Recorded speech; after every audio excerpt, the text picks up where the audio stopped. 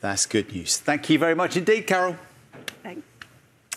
Now, when tickets for Taylor Swift's Eras tour went on sale last year, it crashed websites. It led to sold out hotels in host cities around the world. And this week, she kicks off the UK leg. She finally arrived. Finally After arrives. all that, are you excited? I'm very excited. I am going, yes. I'm You've very got a excited. ticket, managed to get a ticket. Now, an hour ago, uh, Ben challenged Sarah to see whether she could uh, identify a Taylor Swift song from a couple of bars on a piano. Which I did. Which you did. You got it absolutely correct. I did. So, as we go back to Ben in Liverpool to talk about the economic benefits of Taylor Swift coming to the UK, let's see if Taylor, uh, Taylor, Sarah, can make it two out of two. Let's listen. Sarah, name that tune. Shake it up, innit? Yes. This Two out of two. And I bet you'll be tapping your feet along to this.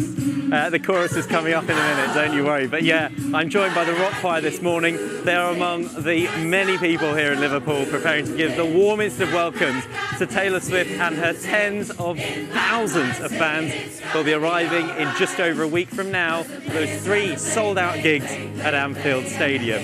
Taylor's just finished uh, in Lyon last night. She goes up to Edinburgh at the weekend, and then the tour comes here to Liverpool, bringing an economic boost to the city with it. We'll be hearing about that in a moment, but first, before we hear the choir sing a little bit more, here's a little look at how Liverpool is gearing up to welcome Tay. Pop stars and murals don't get much bigger than this. With Taylor Swift fans coming from all over the world to Liverpool, the fully booked Phoenix Hotel is even renovating rooms to welcome as many as possible. We've got people coming from different cities that haven't actually got tickets. They just want to experience what Liverpool is about and get the, you know, the vibe and all the different things that we're doing in the city. It's attracting people to just want to be here and experience it with us. From the moment Swifties arrive here in Liverpool, or Taylortown as it will temporarily be known, they'll find a special dedicated information point in there inside Liverpool Lime Street Station, giving them details of everything that's happening around the city. And as fans step out, perhaps wondering, does Liverpool really love Taylor? Well, the answer awaits them over there, written large across the front of St George's Hall. Artist Bethan is making customised jackets for Taylor mega fans and helping create the installations that will transform the city while the tour is here. I think the whole Taylor Town thing that, the city is doing is really important because it means that there's going to be loads of people coming to the city who haven't got a ticket and maybe won't be able to go and see it, but there's something th- for them to go and see and do and to be able to get loads of selfies and all the different kinds of things that we're commissioning and things that we're building. They'll be able to go to workshops and create things that are kind of Taylor related um, and they'll still be able to have fun and enjoy the time here even if they're not going to see her. More than 150,000 fans with tickets will be here spending money on everything from hotels to eating out. But is it really a love story across the board for Liverpudlians with life plans? I'm actually getting married in two weeks, and none of our family can get hotels because they're all booked up, and they've all been booked up for months in advance. So it definitely, definitely does have a positive effect on the, the economy of Liverpool.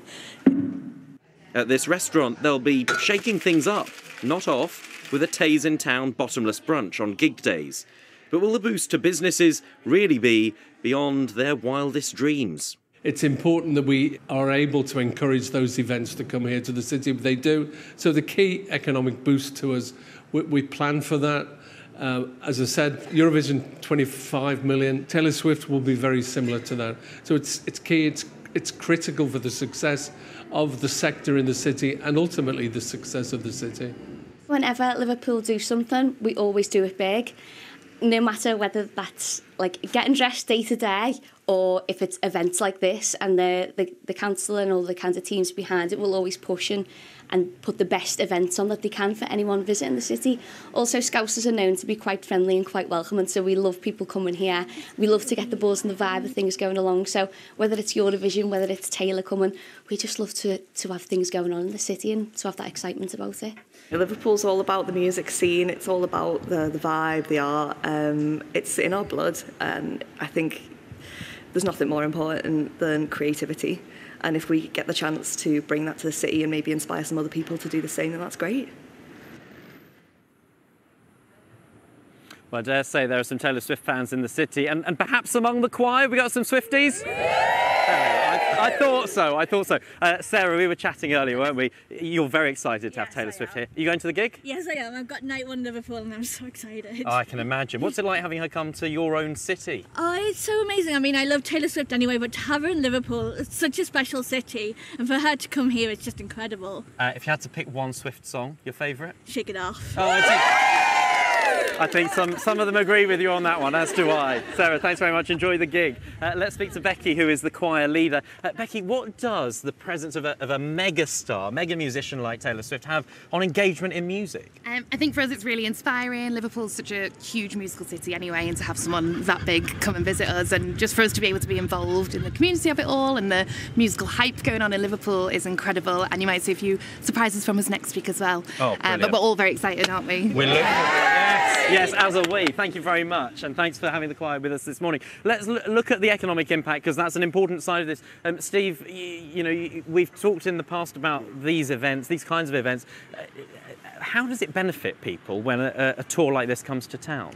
Well, it really is about drawing money in. To be, uh, on a local level, these kind of events can have a really big impact because people are coming from outside the area. They're coming from Manchester, they're coming from York, and they're going to be staying in hotels, they're going to be spending money in restaurants and stuff. So that's all kind of spending that wouldn't have happened if it hadn't been for Taylor Swift coming here. So there's a real kind of impact for these events. We estimated, for instance, with the Grand National, that can bring in about 60 million a a year. Eurovision last year brought in about 54 million. So these, these events can have a good local effect. Nationally, not so much, but a local, really positive economic impact. Okay, Steve, thanks very much as ever for giving us that take on it. Uh, as we can hear, the choir preparing for those many events they're going to be taking part in with some rather special vocal warm ups for Taylor.